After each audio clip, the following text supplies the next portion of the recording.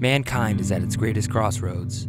We have built amazing things cities of steel and glass, vessels that sail amongst the stars, and innovations that shrink our world, yet at a cost to our precious environment.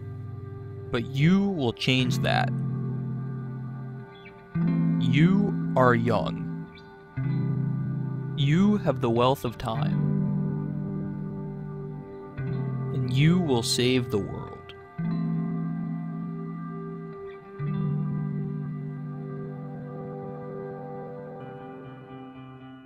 If you live in a city, you can use public transportation to reduce your environmental impact. Cars emit nearly 1 billion tons of CO2 per year, which you can reduce by taking the train or subway. You'll also save 1.4 billion gallons of gasoline and $6,200 per year. The best way to promote the use of public transportation is for businesses to get involved and make their workplaces more accessible. They could be located uh, convenient to public transportation. So for example, located here in Willis Tower, you can get here via four different train stations in a short walk um, to the office. So, you know, location matters.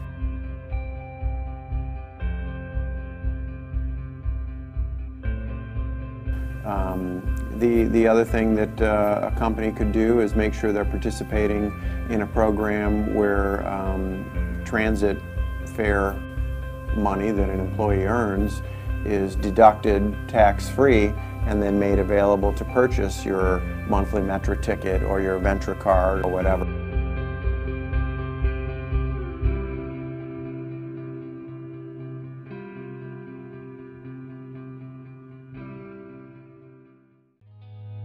Sustainability doesn't end at the office. You have to be willing to commit to a green practice from design to the dumpster.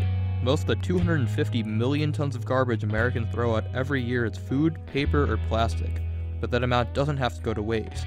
Whatever you can do to simplify the recycling at the end of its useful life, uh, you can do that by minimizing the intermingling of different materials.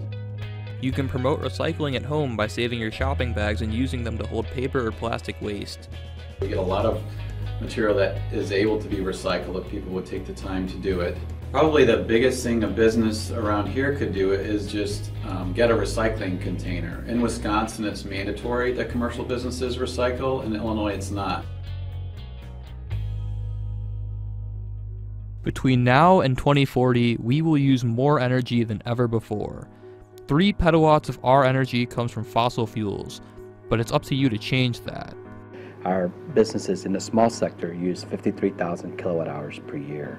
In the small business sector, a customer can uh, replace their existing, what we call T12 lighting, old fluorescent lighting, with new lighting that's more efficient. Another awesome benefit about changing your lights is that you'll save $40 for every bulb that you change. In some cases, for example, LEDs can reduce uh, basically between 65 and 75 percent, um, less than traditional lighting.